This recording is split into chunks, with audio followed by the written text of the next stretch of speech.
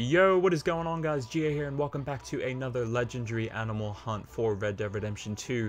In this video, we're going to be taking a look at and hunting the legendary boar of the Blue Water Marsh. Now, as always, before we get into the hunt, we're going to look at our rewards and turn-ins so that way we can see where it fares with all the other hunts and you can prioritize the order in which you want to go about hunting these animals for purposes of incentive. So the trapper and the fence that I go to are right next to one another in Saint Denis. You've seen that in every video that I've covered. This is the place to go to, to just do everything all at once. It's just super convenient. And we're gonna head to the fence first to take a look at the ingredient list for the Boar Tusk Talisman because I'm gonna be showing you guys where you can pick up those ingredients in this video. We're not just covering the hunt. I want you guys to get this talisman because it is well worth picking up the items for. So now the cobalt petrified wood is to the far upper left of the map where you would hunt the legendary white bison. If you have not seen that video, there is a hunting playlist for all these videos on my YouTube channel.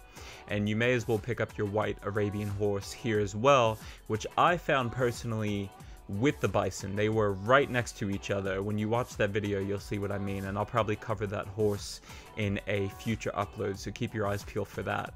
But you're to come up on this wagon. So follow my marker on the map. You're to come up on this wagon, and you're to open this chest. You're to find an item to the right. I'm not to assume that it's money for everyone.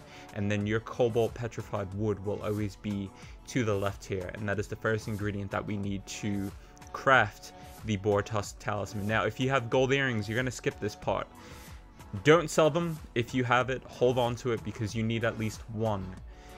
If you don't have gold earrings, you're going to do a train robbery. Women on trains give you jewelry, but it's going to take a hit at your honor for every woman or passenger that you hunt.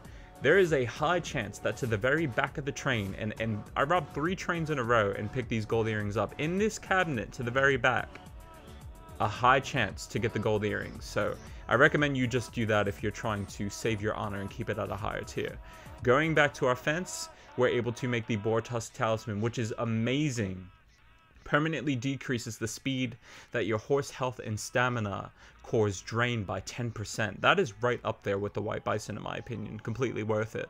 So now we're going to trade in our boar pelts. Now by doing this, you'll be able to go into the crafting menu and buy the craftable materials. Assuming you have all ingredients, you'll be able to finish the beaver flop hat and you'll be able to make the boar and bison fowlers. Now if you need any reference for the legendary pelts in both of these ingredient lists, feel free to reference the videos on my playlist because I covered both of those animals for those separate pieces of clothing. Now finally, with all that out of the way, you're going to head to the Blue Water Marsh, right where my waypoint is.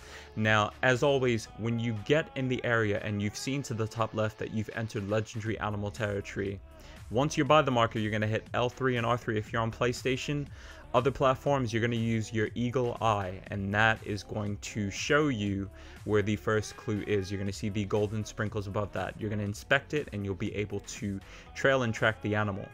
Now, as far as my loadout, I've been loving the Lancaster repeater with the high velocity rounds and just using Deadeye. Make sure you have a full Deadeye meter.